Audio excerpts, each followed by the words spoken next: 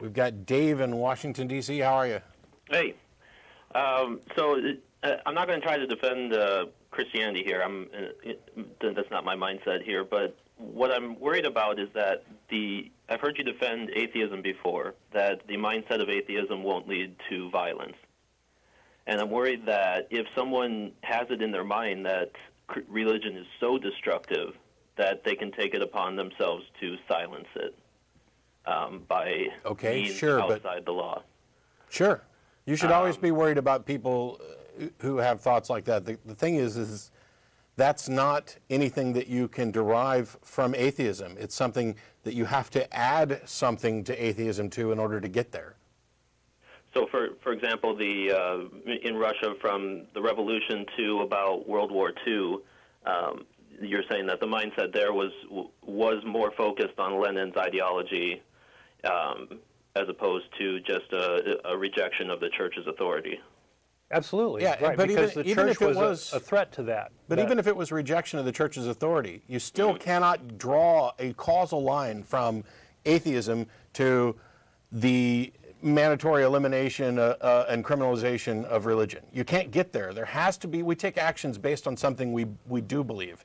And atheism is a single position on a single issue. It doesn't have any tenets or dogma or edicts or anything else. And therefore, you cannot get from I'm an atheist to I'm going to outlaw religion without adding something else in there. There's some, some other element in there um, that the individual or organization must adhere to in order to get from A to B.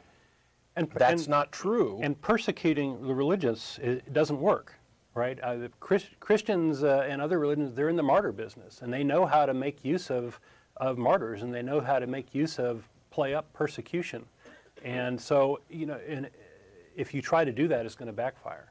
So, you know, the, the, the, the only sane way to, to proceed here is to argue against it, to use your free speech rights, which is exactly what we're doing. So that's that's why we're here, or a big part of why I'm here anyway. Okay. I, I cut you off, man. It's it's all right. I, I just that's kind of secondary to the issue. The issue, his his concern is, you know, is it possible to get from a, a, strong disbelief or a strong uh, opposition to religion to the sort of, you know, evil quote unquote atheist regimes? And yes, it is. But you have to add in other things, and it's those other things that are objectionable. That's not the case when we. this is one of the reasons why you cannot draw a parallel between, for example, the the, the Stalinist regimes, et cetera, to the harm that that Don was pointing out that was done on behalf of Christianity. Because in the specific case of Christianity, you have this book that includes a lot of things about thou shalts and thou shalt nots and specific instructions, and it's really easy to draw a line from thou shalt not suffer a witch to live to burning witches. It's impossible to draw a line from I don't believe in a God to therefore I think I should kill those who do. Okay. Yeah, uh, that sounds reasonable to me. Um, thank you.